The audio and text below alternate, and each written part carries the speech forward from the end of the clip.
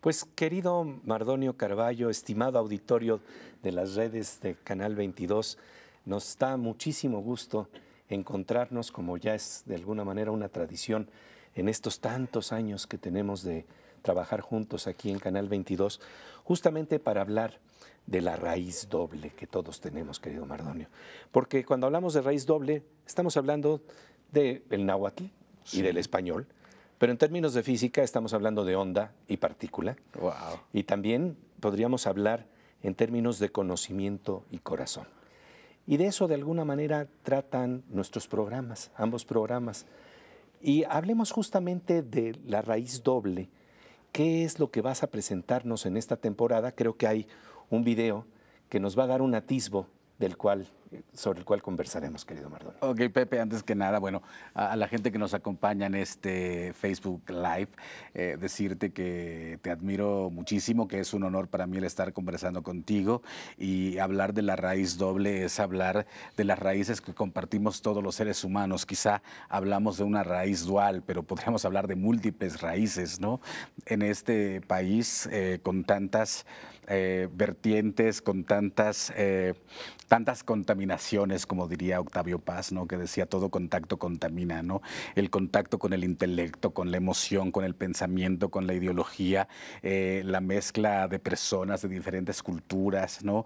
Eh, convierte a este país en no, no un país de raíces dobles, sino de raíces múltiples, Pepe. Estamos habitados por tantas y tan plurales culturas que eso es lo que es importante, darlas a conocer. Realmente adentrarnos en nuestra diversidad. Sí, es, importantísimo, así como, como lo que tú haces, eh, Pepe, eh, con la difusión de la ciencia, que yo siempre he pensado eh, que es bastante afortunado lo que haces porque se hace poco. El conocimiento generalmente se baja poco. en general, el conocimiento permea una suerte de conglomerado de personas, pero baja poco. Y yo creo que la difusión tanto de la diversidad cultural del mundo, como la divulgación científica, esa, esa otra poesía del pensamiento humano, de la reflexión humana, tiene en algún sentido que bajar y permear eh, y contaminar eh, las mentes, los corazones, pues de mucha gente, porque lo necesitamos, necesitamos saber de dónde venimos, necesitamos saber hacia dónde vamos, necesitamos saber... Eh, por qué nos entendemos o por qué no nos entendemos o cómo, hemos llegado a donde hemos llegado, Pepe. Y creo que, el trabajo que hacemos tú con la, oveja eléctrica, que me parece, insisto, un, un, momento importante de la televisión mexicana, porque coloca el conocimiento al alcance de todos. Mira, querido Mardoni, es que es el mismo impulso, creo que el que nos recorre, el que recorre nuestros corazones desde hace mucho tiempo y tiene que ver con la creación de una sociedad de imaginación y conocimiento. ¿no? Porque de verdad, cuando estamos hablando de, conocimiento, si nada más queda en unas cuantas mentes y, la educación de vanguardia solo pertenece a algunos círculos, lo que estamos haciendo es verdaderamente crear desbalances terribles en nuestra sociedad. Sí, y eso es terrible, Pepe, porque en, una, eh, en un país como México, en un país como este, eh, con tantas desigualdades y donde una apuesta democrática tendría que ser eh, el convite del conocimiento, como si fuese un banquete importante al que todos estamos invitados, otra cosa sería, ¿no? empezar por seguir con la metáfora, con una mesa puesta al alcance de todos, con los banquetes eh, que se sirven, las, con las viandas que se sirven en esa mesa al alcance de todos. Y eso es muy, muy importante, ¿no? Sabernos, conocernos, reflexionar, reflexionarnos juntos, me parece una impronta y, este país lo necesita, Pepe. Necesitamos conocernos, necesitamos sabernos, necesitamos compartirnos, necesitamos incluso dolernos, porque eh, en, un país con tantas desigualdades, la felicidad y el dolor siempre están eh, eh, en un concierto cantando juntos. Y bueno, por eso es tan importante los temas que, se van a explorar en, ah. la, raíz doble. y por otro lado, eh, eh, los ángulos con los que tú quieres penetrar precisamente en mundos que a veces quedan invisibilizados. Y a veces la invisibilización es por el racismo que coloca en el romanticismo a las culturas que son diferentes, a las culturas indígenas, a las culturas también de otras índoles, pero realmente la clave entonces es, es, cómo abrirnos a entender e imaginar el mundo del otro. Carlos Fuentes decía que destruimos al otro cuando mm. somos incapaces de imaginarlo. Wow. Y entonces ¿Qué nos traes en esta nueva temporada? Creo que vamos a ver ahora un breve, ah, breve pues, video. Pues veamos el para, video. Para, para, plantear precisamente qué mundos nos vas a abrir con esta nueva temporada. Vamos al video, pues. La Ciudad de México es pues una rica, literalmente entendida colección de los sabores que pertrechados bajo la memoriosa nostalgia se comparten en esta serie que sitúa en el centro los sabores de la periferia. Así como se teje la historia de 11 personas que buscan en la antigua Tenochtitlan, revestida de asfalto, sus esperanzas de un futuro mejor, ¿a qué saben las carreras universitarias? ¿A qué saben las jornadas laborales intensas por una mínima paga, los abusos del racismo, de eso va el guiso principal de esta temporada, un instante en las vidas de Baristo Hernández, que es náhuatl, de Alicia Gregorio, que es chinanteca, de Luis Pérez, que es man, de Isaura de la Cruz, que es amuzga, de Luis Amador, que es zapoteco, de Aurora Vera, que habla español, de Sebastián Guzmán, que es celtal, de Rocío Patricio, que es ayuk, de Pascual de Jesús, que es triqui, y Ángela Marcos, que es náhuatl, además de Maraí López, que nombra al mundo en zapoteco. Ellas y ellos, sus alegrías, sus fracasos, sus risas y sus lágrimas se compartirán para hacernos saber que los mejores sabores de México están en la periferia. Bienvenidas, bienvenidos a la raíz doble y sus sabores periféricos que saben a milpa, chile, a maíz, a frijol, a tomate, a ajo, cebolla y a las especias que hacen del gusto el recoveco más importante de la memoria. Tlaxcamati Miak. La raíz doble, nueva temporada, lunes, 21 a 30 horas. Pues, ¿qué te parece? pues como siempre, un atisbo, una mirada que nos permite asomarnos a lo que está pasando alrededor de nosotros y que a veces simple y sencillamente no lo vemos, que tiene que ver con nuestras, nuestros alimentos. Mm, y, y, también algo muy interesante que tiene que ver con el racismo que a veces se puede jugar con la alimentación. Sí, fíjate que una de las cosas eh, importantes de esa temporada es que escogimos a 11 personajes, 11 personajes que eh, venciendo todas las vicisitudes, auspiciados por sus esperanzas, vinieron a la Ciudad de México, indígenas que llegaron a la Ciudad de México o campesinos que llegaron a la Ciudad de México em, buscando una mejor oportunidad de vida. Eh, en ese trayecto nos cuentan sus vicisitudes, todo lo que les pasó en la Ciudad de México. Yo siempre digo que la Ciudad de México tiene su propio cobro de piso, ¿no? es una ciudad monstruosa, es una ciudad bellísima, eh, pero que cuesta trabajo, sobre todo eh, eh, para gente que ha tenido que hacer trabajos muy fuertes, muy duros, muy rudos, y también gente que cuando llegó a la Ciudad de México, por ejemplo, no hablaba, no hablaba la lengua castellana, gente que vino a estudiar sin saber la lengua lengua castellana y eso eh, nos, digamos que nos allegamos a la nostalgia más perenne, que es la nostalgia que, que esa, esa que hace literalmente de tripas corazón. Nos fuimos a la comida, Pepe. Todos los invitados van a cocinar, todos los invitados van a, eh, van a prepararnos alguna comida de sus nostalgias y también los visitamos a su comunidad de origen. Entonces hacemos siempre este juego, esta raíz doble, este versus eh, de, nuestro invitado eh, en el espacio citadino y en ese otro universo que son los pueblos indígenas. Y, con los alimentos que, que además ¿Nos pueden separar también? Sí, yo creo que es terrible eso, Pepe.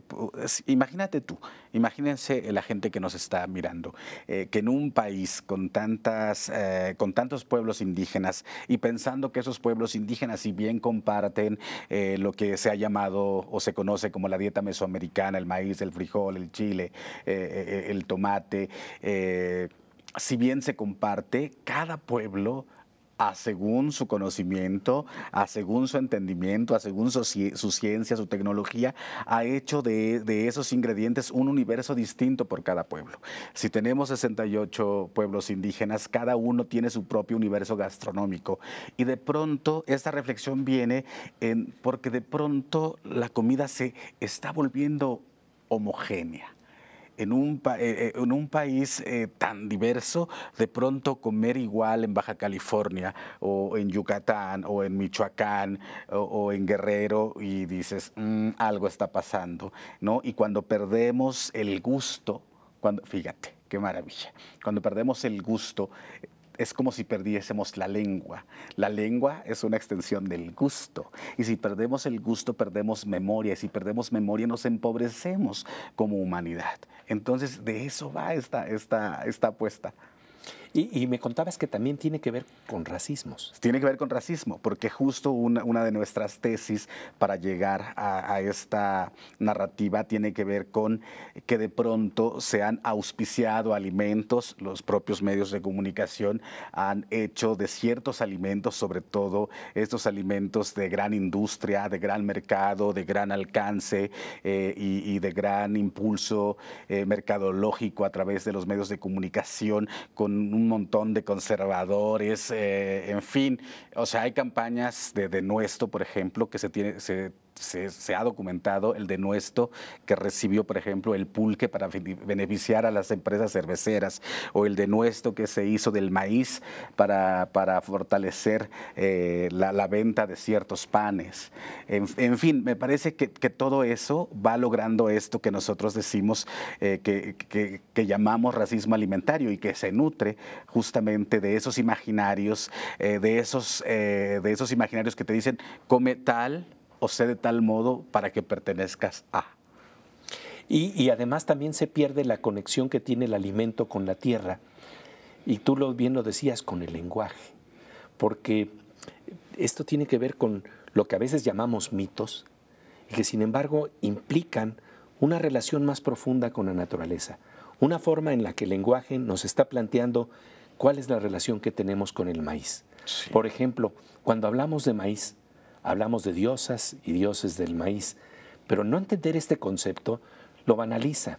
Plantea que es un mundo, digámoslo así, eh, pues que, muy elemental, que, que, no entiende lo que está detrás de un impulso como la diosa del maíz. Hablemos un poquito de eso, de, qué quiere decir, por ejemplo, el maíz en términos del lenguaje de nuestras culturas indígenas. Sí, yo creo que para empezar, eh, dicen que, los dioses necesitaban quien les dijera poesía, según los mayas, y para que tuviesen poesía los dioses, crearon a la mujer y al hombre de masa de maíz. Nada más para que te des una idea. Sí, digo, eso es hermosísimo. De, dónde, ¿De dónde viene el poder del maíz? Otras mitologías colocan eh, al maíz en sus distintas etapas como hombre o mujer, hombre, mujer o dios.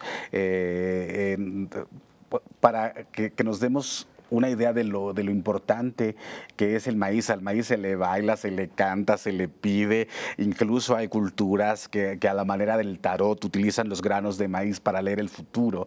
Eh, hay, hay, eh, culturas eh, para, que buscan la sanación de sus integrantes a través del maíz. en fin, me parece importantísimo lo que ocurre en México con el maíz, su relación con las múltiples culturas, con sus múltiples formas yo el otro día decía, ¿cuántas, cuántas, cuántas tortillas habrá en México? El totopo, la tostada, la tortilla, el chabacán, este, en fin, eh, eh, la tortilla de horno, eh, en fin, pensar que las propias culturas, insisto, en esta diseminación del conocimiento llevado a, la situación gastronómica, han hecho del maíz un manjar que, insisto, un, un manjar al que se le respeta al que se le baila, al que se le canta y que en determinado momento puede ser mujer, puede ser hombre y en sus momentos más importantes Dios. Porque, porque lo que estamos hablando es que nuestro entorno, nuestro medio ambiente no es paisaje de fondo, no es la escenografía nada más del drama humano en donde agigantados estamos planteando que somos lo más importante de este mundo natural. Y esta relación y estos vínculos son tan interesantes que además también nos abren hasta conceptos de ciencia que están imbricados en el lenguaje de, las culturas indígenas. Por ejemplo, ¿cómo, cómo se plantea la palabra ciencia? Sí, yo, yo lo traduciría como tlalnamiquilistli, que es como, es, es, el, es el que piensa, es, es, es como quien profundiza en la reflexión, es quien usa su mente para llegar a un conocimiento. ¿No? llevado, llevado a, una situación sustantiva de crear o de hacer. Y esto tiene que ver con un concepto muy importante que es el de la comunalidad. Mm, Hablemos de ello porque a veces el conocimiento se toma como que puede pertenecer a ciertas personas, pero que no se permea en los demás. Mm. Y, y, la comunalidad indica compartir también conocimiento. Sí. Se nos fue el audio. Ah, ok. Está en la cuadra. sí, ah, perfecto. Bueno, bueno eh, no, nos están oyendo, pero de todas maneras aquí nosotros continuamos platicando. Sí, sí, sí. tú nos dices para que no nos veamos como si... También avísanos para que no digamos... No, te preocupes. sí, sí, pero, pero justo eso, Pepe, eh, en el sentido comunal, ¿no? De los pueblos, yo creo que convendría eh, lo que te decía hace rato, ¿no? O sea, compartir el conocimiento.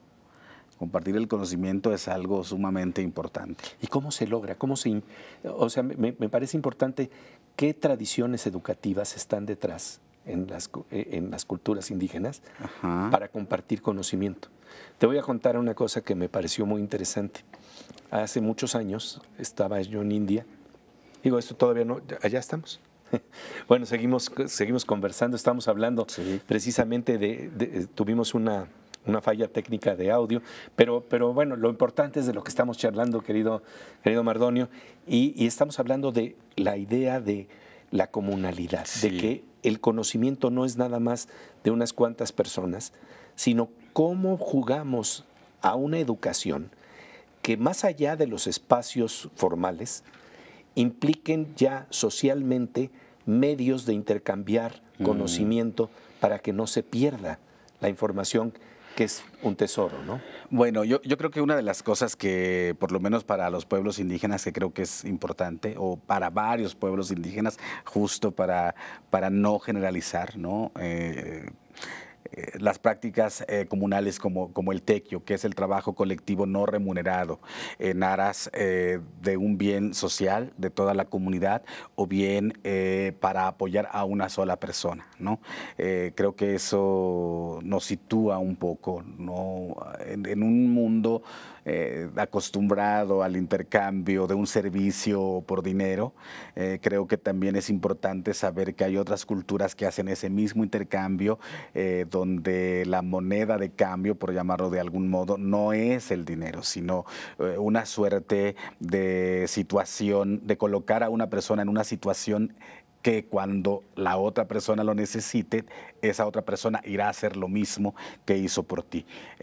Yo creo que esa sería una cosa importante, pero la otra, y que tú como un hombre divulgador de la ciencia, yo voy a volver a insistir, el conocimiento tiene que bajar, el conocimiento que no, eh, que no apoya a la sociedad para un florecimiento colectivo no sirve de mucho, sino que eh, es un conocimiento que se encapsula para hacer del ejercicio de la sabiduría un, que no está en tanto que solo sirve a una sola persona. Ah, estoy, completamente de acuerdo contigo.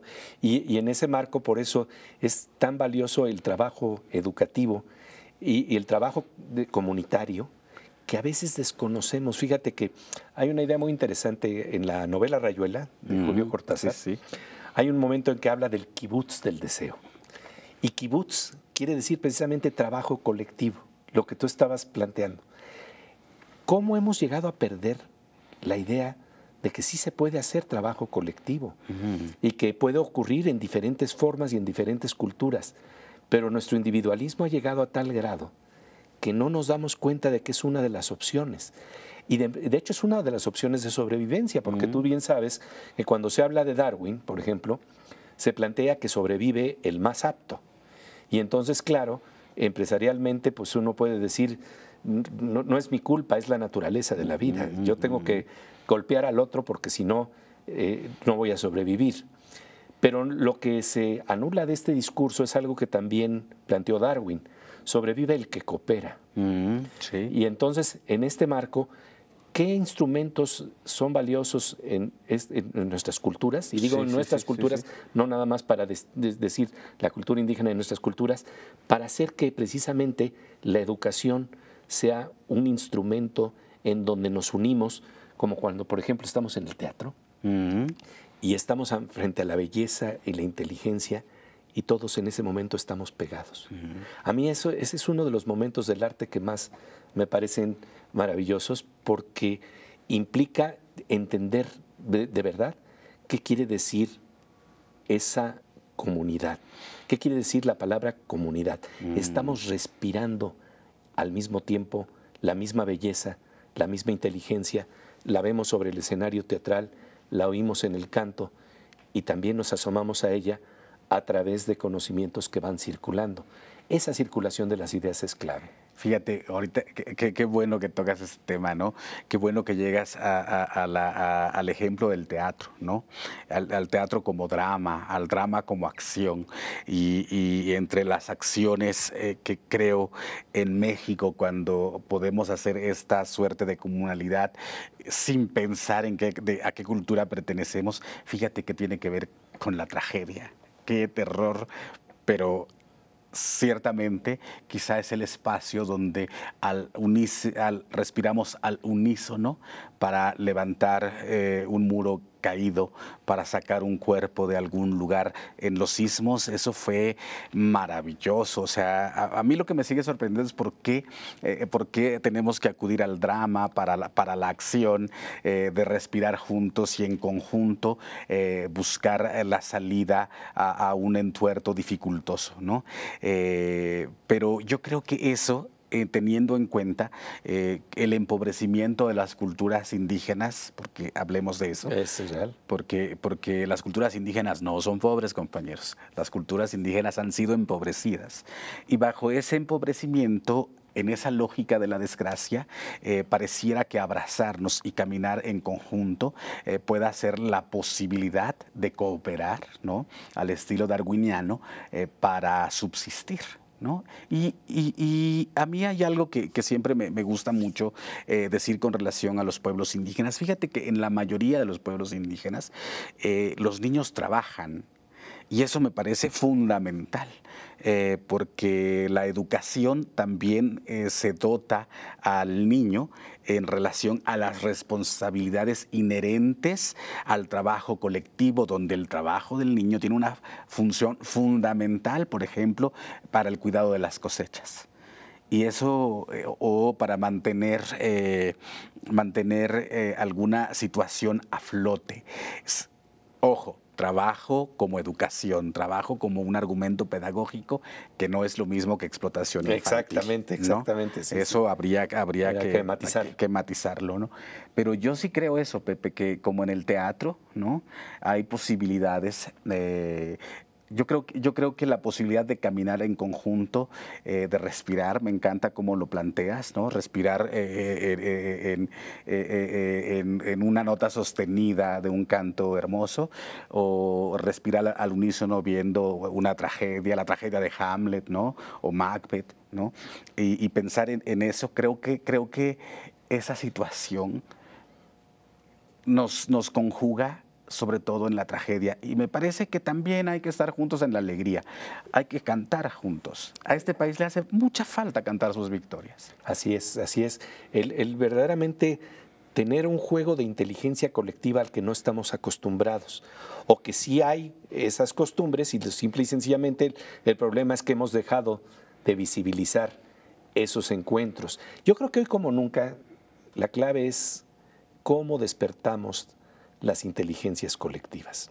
Y fíjate que en ese marco eh, hay algo muy interesante porque la ciencia y la tecnología sí permiten que ciertos flujos de información viajen de una manera más rápida y se puedan comunicar grandes ideas, grandes conocimientos, haciendo comunalidad mm. verdaderamente en Twitter o, en nuestras redes sociales, porque nada más hay que pensar que así como se desperdician las redes sociales en noticias falsas, también se podrían aprovechar en, en torno al conocimiento. Yo nada más me pongo a pensar en algo que me deja siempre eh, planteando las posibilidades que podemos tener. Fíjate, Einstein y Bohr, cuando se tenían que comunicar en ciertos momentos, era a través de cartas que tardaban meses en llegar una a la otra. Y, el problema entonces es que se perdía el flujo dinámico del conocimiento que puede revolucionar más conocimiento. Imagínate Einstein y Bohr en tiempos de Twitter, cómo, cómo estarían jugando y cómo estaría fluyendo de rápida, rápidamente la información. Entonces, esta inteligencia colectiva se puede aprovechar de otras maneras. Eh, fíjate que, por ejemplo, eh, una de las cosas que se hacen hoy en día, que es muy interesante, es que se plantean en, las redes sociales problemas matemáticos y se empieza a hacer de alguna manera un kibutz o una comunalidad en donde eh, un maestro se pone un problema que no ha sido resuelto y de repente un maestro de secundaria pone su granito de arena y luego hay una estudiante que está también poniendo su granito de arena y cuando no te das cuenta está participando también lo que se llaman field medals, que son el equivalente al premio Nobel pero en matemáticas y a través de ese trabajo colectivo de repente en tres meses dan con una solución que de otra manera no se podría generar. Este es el tiempo de estas inteligencias colectivas. ¿Cómo se está jugando también hoy en día en el mundo de las culturas indígenas porque a veces tenemos el prejuicio de ah, pensarnos y de pensarlas encerradas en un espacio bucólico. A, a lo mejor hasta podemos imaginar que es romántico, ¿no? Que ahí está en un pueblito, este, eh, descansando sin estar en contacto con el mundo. Mm. Pero realmente de lo que estamos hablando es que el flujo del Internet está pasando ya por todos lados. Así es. ¿Cómo, ¿Cómo, se expresa esto? Yo, yo creo que es, es, fíjate que yo conocí una poeta que se llama Rubí Huerta, una poeta purépecha que a la postre se ha convertido en una de las grandes poetas de nuestro país. La conocí vía Twitter, fíjate.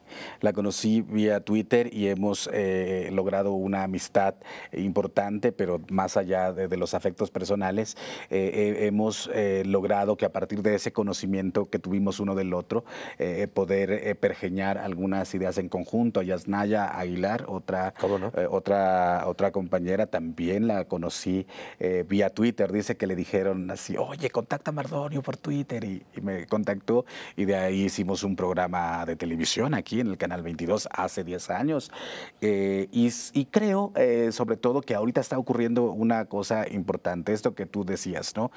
pensar a las culturas indígenas, a los pueblos indígenas en una suerte de reservas ideológicas. Exactamente eh, me, parece, eh, me parece ya un, como decías tú, cuando no entendemos las cosas, cuando tendemos a romantizarlas y a decir que todo es perfecto en esas culturas, ¿no? O decir que todo es terrible en esas culturas, ¿no? Pues sobre todo porque no cabe en el círculo de nuestro entendimiento. Una excepcionalidad que no es sana.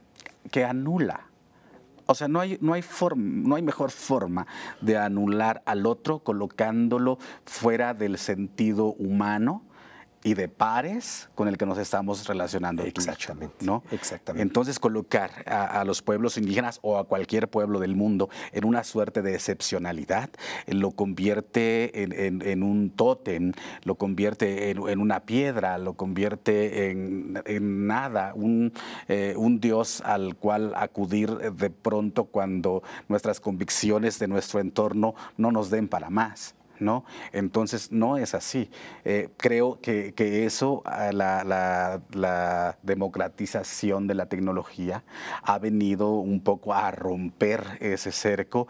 Eh, pienso que al mismo tiempo que, eh, los logros de los pueblos indígenas han logrado colocar mentes muy brillantes en el panorama de la discusión pública, redes sociales, etcétera, y creo que, esos compañeros, hablamos de Yasnaya, hablamos de Rubí, hablamos de muchos otros compañeras y compañeros que están haciendo de las redes sociales un espacio de las culturas indígenas para compartir, para compartirse, para dilucidar, para reinterpretar, incluso para, para incidir eh, eh, en las opiniones eh, popularmente o en el imaginario colectivo de lo que son pueblos indígenas para vertir un poco de realidad, ¿no? Es que estamos hablando precisamente de las raíces dobles. Las raíces dobles. Y múltiples, ¿no? Y en esas raíces dobles caben el lenguaje, que son las sílabas, y también las ecuaciones, que, son, que, Sí. que- que de alguna manera tienen que ver con la ciencia. Y a mí me gustaría que habláramos a- a- a- de, de- de las dualidades. Sí, señor. Esto, esto es un punto muy interesante porque eh, en, en un discurso que es monotemático por lo general, no cabe la paradoja, no caben las dualidades. Hablemos de cómo se expresan algunas de estas dualidades precisamente en la lengua, en el náhuatl, Sí, que, que- que nos permiten ver un pensamiento que va más allá de lo que siempre estamos viendo, que puede abrazar las paradojas. En ciencia, justamente eso está pasando. Se están encontrando muchas dualidades. Eh, eh, se encuentra la dualidad entre la onda, y la- es- o es onda o es partícula, y resulta que pueden ser ambas. Mm, mm, Entonces, mm, mm. eh, lo, lo interesante es ver cómo este concepto de dualidad ya era abrazado desde hace tiempo en las culturas indígenas y cómo tenemos que recuperarlo. Un, un- un concepto además que la poesía por excelencia hace, Sí, sí, sí. abrazar la dualidad. Me acuerdo que Walt Whitman decía, me contradigo, qué bien, me contradigo. Soy tan vasto, soy tan amplio Claro. que en mí caben multitudes. Esas multitudes, esas raíces múltiples, cómo se expresan en la lengua, en esas dualidades que también sabe capturar la lengua indígena. O como dice Whitman, todos damos vueltas y vueltas y vueltas y regresamos siempre al mismo sitio. Así ¿no? es. Eh, pues mira, en, en náhuatl, por ejemplo, eh, en relación a, a lo bueno y lo malo, fíjate que no hay, no, no, no hay malo, Mm, hay bueno y no bueno. Qué bonito. que me parece importante y me parece que justo expone eh, eh, esta situación de los opuestos que se complementan. ¿no? Exactamente. Eh, que creo que, que- que es importante, ¿no? O sea, esto que parecía tan distinto con esto que parecía la antípoda de esto, al final de cuentas crean una línea de comunicación importante, ¿no? Eh, y a mí me gusta mucho ese sentido en, la, en la cultura náhuatl. Y te voy a platicar de, de una diosa que es eh, Tlazolteotl. Tlazolteotl es, es como, como la diosa, eh, eh, la patrona, por decirlo en términos contemporáneos, en términos eh, de apego religioso, sería, sería como la patrona de, de las parteras, de las parturientas, pero al mismo tiempo también del deseo, del amor, pero al mismo tiempo también de la inmundicia. ¿No? De la inmundicia. Y, y- y- y- yo escribí un día un verso que decía, eh, eh, eh, el amor también se pudre, ¿no? Pero justo esta deidad plantea eso, que al mismo tiempo eh, que, que Tlazolteotl es, la diosa de, la vida, de las parturientas, de las parteras, de las dadoras de vida, al mismo tiempo es la diosa de la inmundicia. Pero la inmundicia, fíjate, justo eh, eh, llevado a, un, a un extremo no occidental, ¿no? Como la fruta que se cae, que no necesariamente, eh, no, no- no necesariamente es malo que la fruta caiga. Esa fruta que cae, al final de cuentas, alimenta un ciclo de vida nuevo, ¿no? Porque se ve todo interrelacionado. todo está relacionado. Eh, eh, Alfredo López Austin sos- sostenía arriba, abajo, derecha, izquierda, cielo, mar. eh, es- o sea, siempre, siempre se explican. Eh, como opuestos con- que se complementan, opuestos complementarios, las dualidades eh, que tenemos eh, muy a la forma occidental, como muy a bien cercenar, ¿no? Sí, sí, sí. Eh, y en, en- en las culturas indígenas, fíjate que no es así. Y eso, eh, entrar, eh, quizá entrar en un terreno medio escabroso con la, la- la ciencia, ¿no? Que la ciencia requiere de una especificidad, de un argumento súper importante para llegar a, a saber qué es un átomo. Pero fíjate, esto es lo interesante. Resulta que en la ciencia se abrió ya la paradoja. Y eso es lo que, lo que es este, fascinante, porque resulta que siempre pensábamos que había nada más una, una sola línea Mm. de lógica, Sí. pero hoy en día, como nunca, con el ejercicio de la multidisciplinariedad y con el ejercicio de, de la complejidad, Sí. que es parte ya del estudio de la ciencia. Qué belleza. Nos estamos empezando a abrir precisamente a que algo puede ser y no ser al mismo tiempo. En física cuántica esto es muy claro, ¿no? Eh, ah, eh, eh, resulta que una partícula puede estar en dos lugares al mismo tiempo. Y uno que podría pensar que esto es nada más un juego de imaginación, pues resulta que no, porque hoy en día se está haciendo ya tecnología con base en estos principios. Fíjate que todo esto es descrito de una manera maravillosa con un término que se llama función de onda, que es como una ola. Y la función de onda simplemente nos dice lo siguiente. Mientras una partícula no está observada, se modela como una ola en donde está en todas partes antes de hacer la observación. Entonces imagínate que es una ola que baña una playa. Y en el momento de hacer la observación, se colapsa la función de onda y emerge una posibilidad. Pero matemáticamente, ¿qué pasó con las otras posibilidades? ¿Nunca existieron o sí siguen ahí? ¿Y cómo preservarlas? Y resulta que hay eh, eh, investigadores que están haciendo estudios muy interesantes precisamente sobre esta área, que nos plantean que uno de ellos, que se llama Seth Lloyd, eh, del Instituto Tecnológico de Massachusetts, decía que él es un masajista de átomos para que los átomos se puedan conservar en esas propiedades extrañas en donde siguen funcionando como ola y que no sean perturbadas, porque prácticamente son, están de mírame que no me toques. Entonces, si cualquier perturbación rompe la ola, rompe el coro, y entonces nada más tienes una posibilidad. Pero los, los físicos están haciendo, las, están logrando las condiciones para que esa posibilidad de que esté aquí y allá al mismo tiempo se conserve. Y esto abre algo muy interesante, porque son lógicas eh, paradójicas o dualistas o como quieras llamarla. Porque resulta que, por ejemplo, en la computación, tú construyes todo el aparato de programación de la computación en base al encendido y el apagado de ceros o unos. ceros y unos. ceros, ceros o unos. Pero resulta que si puedes mantener esta ola, lo que ocurre es que vas a elegir cero y uno al mismo tiempo. Y esto se llama computación cuántica, se llama bit cuántico y está revolucionando y va a revolucionar la forma en que procesamos la información. Entonces es muy interesante que la paradoja se volvió tecnología. Qué maravilla. Es como un ejercicio de contención, ¿no? Sí, sí, sí. O sea, para saber qué pasa, fíjate qué, qué, maravilla. Sí, sí, sí, porque ahí están flotando todas las posibilidades y me encanta la expresión de este físico soy masajista de átomos. Qué maravilla. Para que sigan funcionando en coro. Y fíjate que es interesante la palabra en coro, porque lo que necesitamos como nunca es el coro. Lo que en términos de enfrentar tragedias, Carlos Monsiváis llamaba muy bien no sin nosotros, justamente después del sismo. Sí, sí, sí.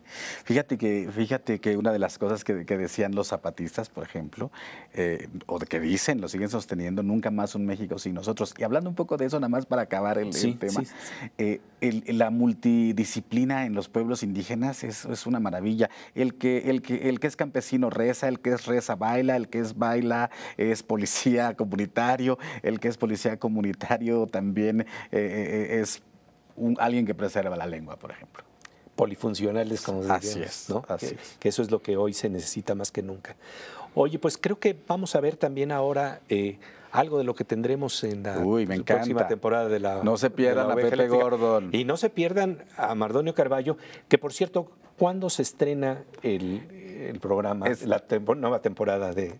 Bueno, cabe, cabe decir que tu programa Hoy se transmite el segundo programa de esa temporada, ¿cierto? Sí, a las nueve y media de la noche. Ah, yo estoy a las nueve y media, pero estrenamos el día lunes 5 eh, de septiembre, 9.30 de la noche, Canal 22. Buenísimo.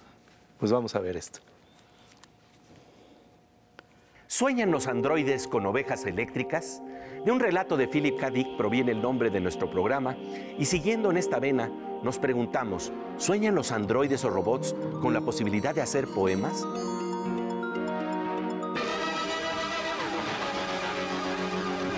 En 2022, la oveja eléctrica cumple 17 temporadas al aire que han consolidado a este programa en el gusto de un público cada vez más amplio que aprecia la calidad de narración de las historias de la ciencia y del mundo del arte que transforman nuestros horizontes. Que a los niños se les debería de enseñar ciencia desde, desde muy parvulitos, desde pequeños, porque la alegría que yo he visto en mis nietos cuando ponen una lupa, agarran una lupa y se les prende con un rayo de sol, una hojita y se incendia.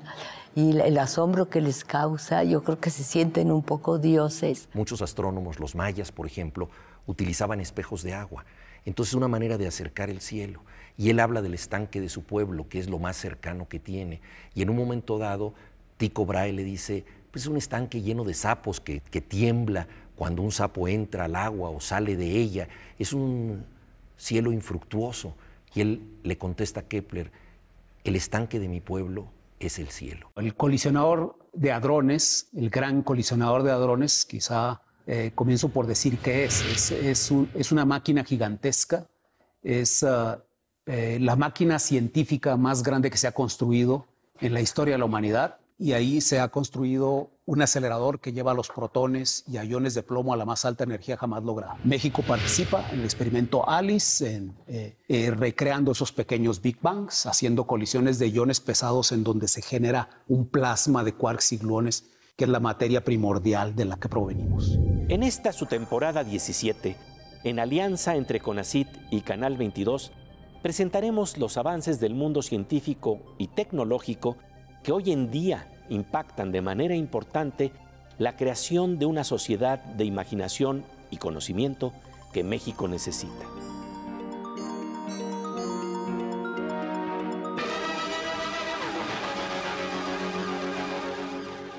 Pepe, pues felicitaciones. Muchas, muchas gracias, ¿Eh? querido. Qué maravilla tenerte de regreso a la pantalla. Bueno, pero tú siempre grandes sorpresas. A ver, eh, ahondemos un poquito más. Ahora te toca a ti. A ver, dime de qué va a ir y qué personajes. Siempre tienes unos personajes increíbles que hacen que esta maravilla de la que estamos hablando, que es compartir el conocimiento, lo podamos ver a través de la televisión pública. Es que fíjate que nosotros nos basamos en algo que creo que tú también es la base de tu trabajo poético y de tu trabajo de comunicación. No hay un momento más hermoso en la comunicación que ese instante invisible pero real, en donde se enciende el ojo de una niña o, una niño, o un niño porque ha entendido un trozo de conocimiento, porque se ha abierto a una mirada de belleza. Sí. Entonces, en este marco, pues lo, lo que es interesante es ver cómo en el mundo de, la ciencia y el conocimiento que exploramos en la oveja eléctrica, pues tenemos eh, desde las investigaciones y exploraciones de nuestro origen, nuestras mitologías y cosmogonías contemporáneas que tienen que ver con el Big Bang, que además no están cerradas del todo, porque entendemos hasta cierto punto, pero hay partes de la historia que, todavía dejan mucho a la imaginación. Vamos a tener la presencia hoy, por ejemplo, a las nueve y media de la noche, del físico Neil Turok, un físico sudafricano que precisamente en África creó un instituto de matemáticas para poner el piso más parejo en términos de conocimiento, para que llegue verdaderamente a todas las capas de la sociedad y que no se quede nada más en ciertos rincones. Y en estas cosmogonías contemporáneas, una de las hipótesis más interesantes que está lanzando es que a lo mejor el Big Bang tiene un espejo, mm. que es una especie de anti-Big Bang. ¿No? Y este, que vuelvo a insistir, es muy interesante porque de alguna manera está tocando una raíz de pensamiento profunda que va a aparecer luego también en las diferentes mitologías, culturas que por intuición de alguna manera también empiezan a, comprender que hay ciertos elementos de simetría muy profundos en la naturaleza y de rupturas de simetría que son igualmente importantes. Entonces vamos a tener a Neil Turok en la segunda parte de una conversación que sostuvimos con él el día de hoy a las nueve y media de la noche. Por otra parte, tendremos la intervención del doctor Jesús Ramírez Bermúdez, que eh, nos va a hablar de la melancolía creativa. y, del estudio de la depresión y la melancolía más allá de las etiquetas. Porque creo que todo el problema que tenemos hoy en día es cómo ir más allá de las etiquetas. Sí. Y en términos científicos, cuando etiquetas, también puedes perder lo que está detrás de la palabra lo que estaba nombrando realmente. Y entonces ver cómo el cauce de la melancolía, que podría llevar a situaciones terribles eh, en términos de enfermedad y depresión, también a veces puede ser una, una- algo que, que me parece muy interesante que plantea eh, Jesús Ramírez, que es la palabra delirio, que quiere decir salirse del cauce. claro. Y al salirte del cauce, entonces resulta que algo que podría ser delirante como una obra de arte, lo que pasa es que te hace recuperarte de lenguajes automatizados en donde nos deprimimos precisamente porque estamos siguiendo un estereotipo en la vida. Entonces a veces es importante el delirio en, esta, en estos marcos eh, en términos creativos, en términos de no buscar la depresión por, por- por ella misma, sino simple y sencillamente apartarte de la cauce para volver a entrar a la corriente de la vida, a la corriente de nat- nocturna de la naturaleza. Bueno, Pessoa se salía tanto que generó varios heterónimos. Exactamente, exactamente. Y uno diría, y eso es locura, o a lo mejor también eh, tiene algo importante para reconocer que uno no es nada más esa persona unívoca que está dentro de uno mismo, sino que somos varios habitándonos dentro de nosotros mismos y dentro del otro. ¿no? Absolutamente. Fíjate, ahora que, ahorita que decías esto y un poco conectándolo con los opuestos complementarios, Quetzalcóatl tiene un hermano que es Xolo, que Quetzalcóatl es el sol, es, es, es, es esta, es, esta, eh, es esta deidad su- sumamente fuerte, poderosa, solar, luminoso, y Xolo es, eh, eh, es lo divertido, es el travieso, pero son hermanos gemelos, fíjate. Ahí está, es de nuevo esta, esta complementariedad. Y bueno, por otra parte, algo muy interesante eh, en esta temporada y en las próximas temporadas, hay una alianza que tenemos en donde CONACIT está apoyando el esfuerzo de la oveja eléctrica junto con Canal 22. Hay muy buenas noticias en este marco porque además Canal 22 generosamente en otros horarios va a abrir la posibilidad de exhibir este, este programa de la oveja eléctrica de ciencia y pensamiento en el canal 11, en el canal 14, wow. en el canal Capital 21, amén de las redes de televisoras en todo el país, ¿no? de, de las redes públicas de televisoras y de Latinoamérica, porque también este es el alcance, compartir información, compartir conocimiento.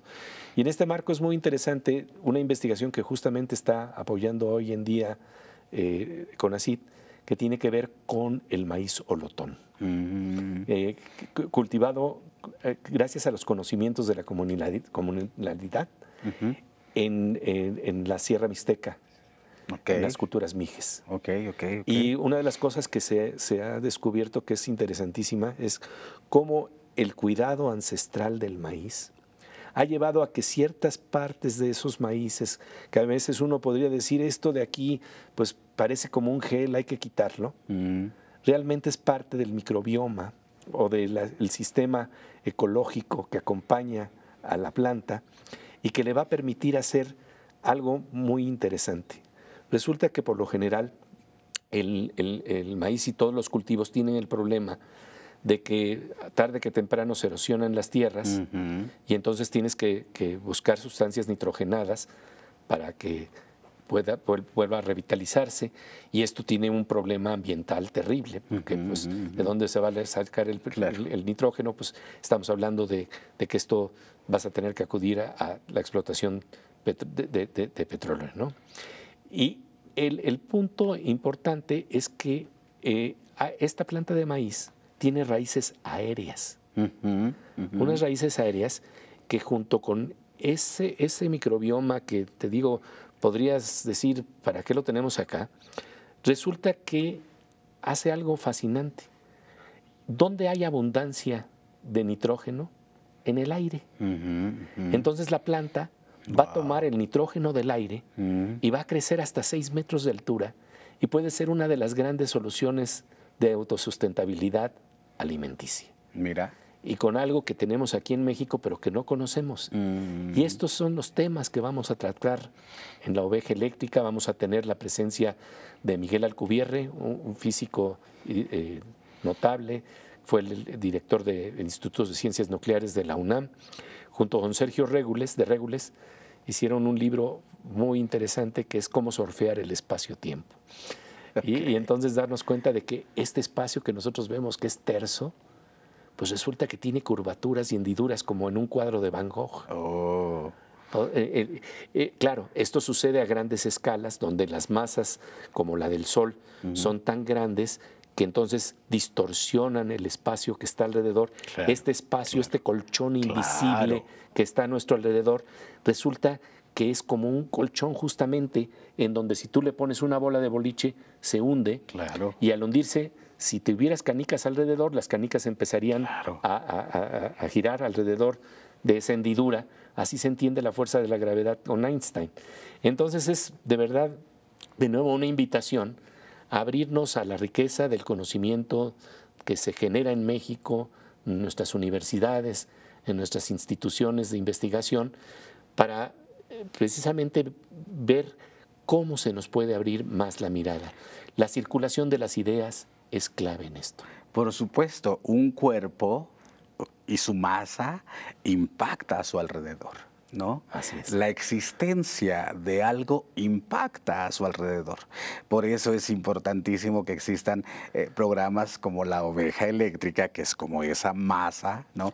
Eh, que de cuyo alrededor comienzan a, circular los planetas, las pequeñas canicas del conocimiento porque nos vas otorgando en cada emisión eh, pequeñas joyas de fácil comprensión para los neófitos como uno, Pepe.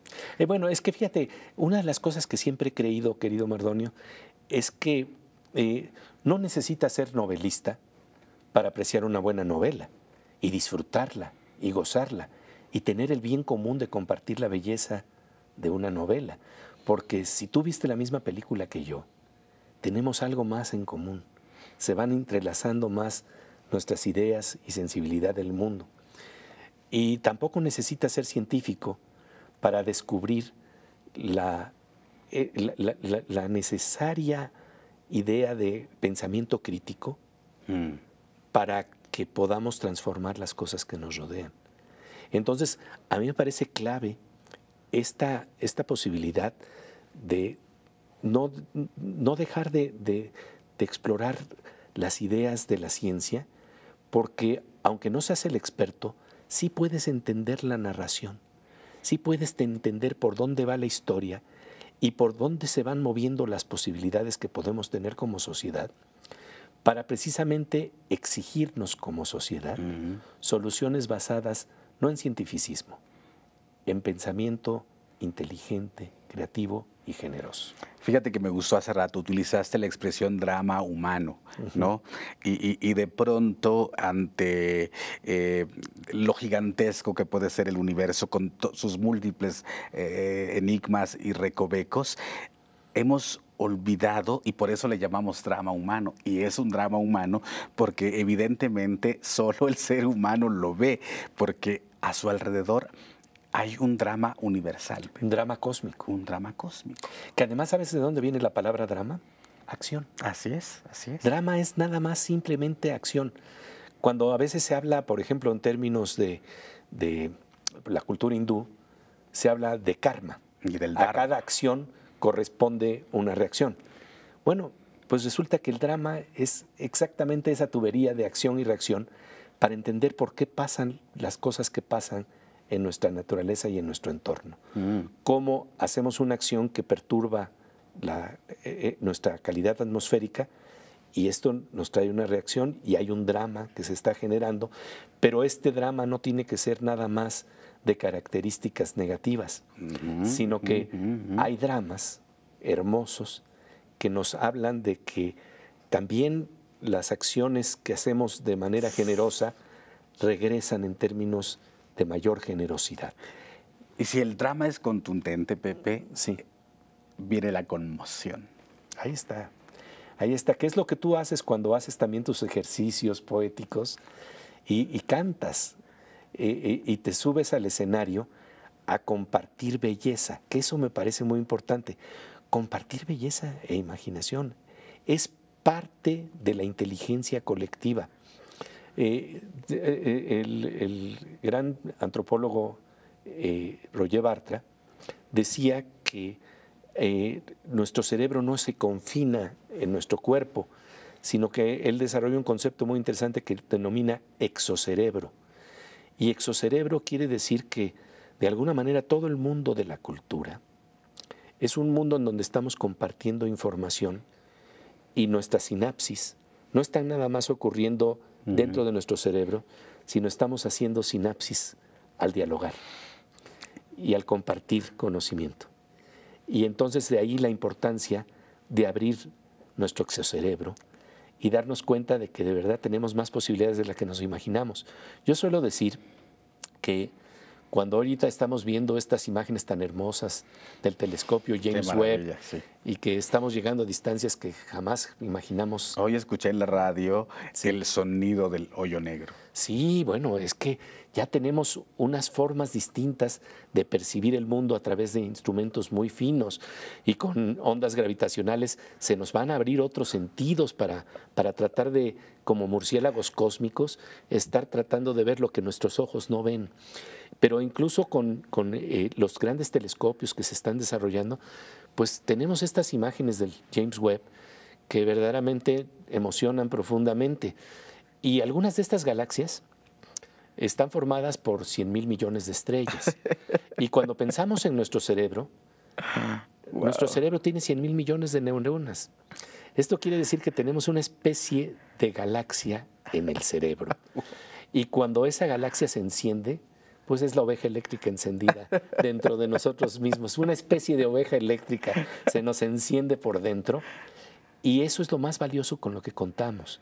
Y por eso es tan importante estimular el pensamiento, la imaginación, el conocimiento del otro. Oye, ¿y quiénes te acompañan en esa nueva aventura? Eh, como siempre, como siempre, este, pues el capitán de, de producción y entrañable amigo Froilán López Lavín, y me acompañan también Aura López, que es una experta en ciencia y tecnología, que en esta ocasión va a estar hablando de los proyectos que se están impulsando por el CONACIT en diferentes lugares del país, en las instituciones y centros de investigación de, México. Y luego eh, está con nosotros también la Morsa, el físico Manuel López Michelone. Tenemos una sección que se llama Aguas con la Morsa, Aguas con el Hacker, y que de alguna manera juguetona nos interna precisamente también en el exocerebro o cultura de comunicación de las redes cerebrales, pero a través de Internet, y cómo a veces corremos el peligro de que nos hackeen nuestra información, precisamente con eh, memes, falsas noticias, cosas que de veras no deberían de estar ahí.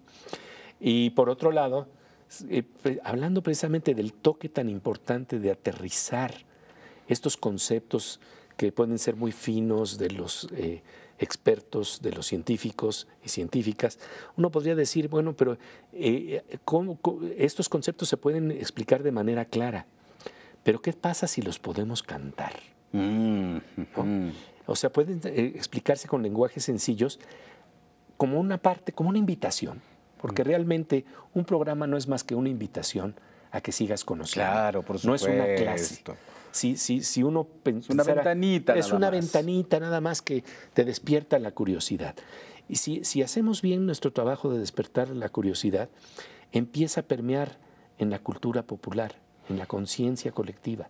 Y eso creo de eso se trata. Y entonces Fernando Rivera Calderón, eh, junto con él hacemos un dueto, un dueto cuántico, Eh, en donde justamente eh, eh, él compone una canción que alude al tema que estamos tocando. Y esto es muy hermoso porque entonces no hay nada más un disfrute intelectual de un concepto nuevo, de una idea nueva, de un conocimiento nuevo, sino también es sensorial.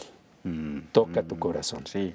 Y lo entreveramos siempre con literatura y arte. Miriam Moscona tiene una sección que se llama Veo Veo, en donde justamente estamos haciendo estos, estos enlaces tan importantes entre sílabas y ecuaciones. Bueno, me encanta que siga la colaboración después de tantos años con Miriam Moscona, Pepe. Ahí está, ahí está. Es un regocijo eh, verlos a ustedes juntos porque nos recuerdan eh, los albores de una televisión cultural. Sí, esto es muy hermoso.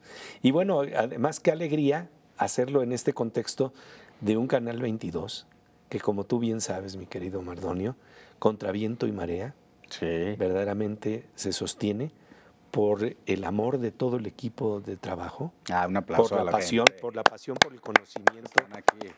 De verdad, este, pues, son, es a veces también la cultura de lo que no se ve y que también que se tiene que revelar. porque eso es. parte fundamental de nuestro trabajo. Fíjate que alguien alguna vez me enseñó una, una cosa muy interesante sobre lo que es la televisión. Me dice, la televisión es trabajo en equipo. Y me contó algo más interesante aún. Si el trabajo en equipo sí está dado, la pantalla lo refleja. Mm, y tú piensas que estás maquillando y que no se ve que por detrás te estás peleando con 20 mil personas. No es cierto. La televisión lo refleja, nuestros rostros lo reflejan, lo que somos lo refleja. No podemos mentir, creemos que mentimos, pero realmente esa es la, gran observación que siempre nos da el arte. Nos revela mundos invisibles, capas invisibles, lo que está detrás de lo que a veces apreciamos. Todos somos una cebolla, Pepe. Así es. ¿no? Capita, capita, capita, capita. Eh, por fortuna la esencia sigue ahí, ¿no? Y maravillosamente, como dices, estamos así con, aquí con un ojo al gato y otro al garabato y por ahí nos tenían preguntas, ¿no? Alguien nos tenía preguntas de parte del público que nos está mirando y pues ahí eh, vamos a responder algunas. Lo puedes decir desde ahí si quieres. Ok. Mardonio, ¿puedes compartir algún texto o texto sobre el tema? Ok, eh, yo recomendaría más que textos, recomendaría autores. ¿No? Eh, yo, o sea, si, si queremos un poco eh, indagar sobre el universo de los pueblos indígenas y un poco sobre eh, una reflexión profunda en términos académicos contemporáneos en voz de alguien indígena o perteneciente a algún pueblo originario, yo recomendaría a Yasnaya Aguilar. Y en términos de esto que tú estabas diciendo, Pepe, de, lo sensorial, del drama, de la conmoción, del moverte de sitio, que, creo que el arte al final... de eso trata. De eso trata. Yo recomendaría leer a Briseida Cuevas, una poeta maya de excepción. Eh, recomendaría leer a Irma Pineda. Irma Pineda actualmente está, eh, para la gente que quiera saber un poco más de pueblos indígenas, está eh, en la jornada semanal escribiendo cada semana. Creo que eso es importante también de leer. Yasnaya estaba escribiendo en El País y en Gato Pardo. podríamos también, la propia Rubí Huerta, poeta purépecha de, también excelente.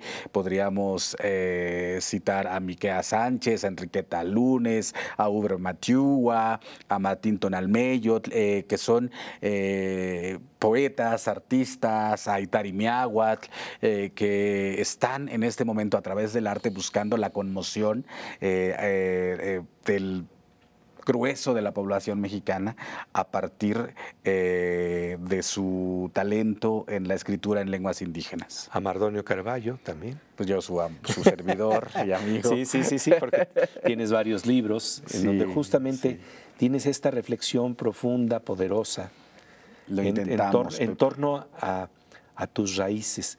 Porque fíjate que hay algo muy hermoso que decía el escritor Isaac Bashevis Singer decía, habla de tu aldea y serás universal. Mm, sí. Y, es una aldea mixta ya. Es una aldea que tiene mestizajes. Sí. Y esto hay que entenderlo como nunca, porque no son estas aldeas puras en donde dices, es mi pueblo y nada más es mi pueblo. No, mi pueblo está habitado ya por todos los pueblos. Decía, decía, no me acuerdo el nombre, pero el vocalista de Jarabe de Palo decía que en lo puro no hay futuro. Exactamente. Mestizajes abrirnos a los otros y tocar bien las historias de nuestras identidades cambiantes, contradictorias, que nos toca explorar en estos tiempos. Mestizajes más allá del mito nacionalista, ¿no? Mestizajes como, como, a mí me gusta mucho citar a Paz en ese sentido, a Octavio Paz, decir, eh, de estas contaminaciones que no van haciendo, sino que uno se nutra eh, en los términos más justos, que tendría, tendríamos también que acotar eso, del, de la otra o del otro, ¿no? Exactamente. Y en los términos más justos, porque eso es también importante acotar. Así es. Históricamente hay también toda una experiencia y toda una memoria que ahí está y no puedes no, no, sentir el peso de esa memoria.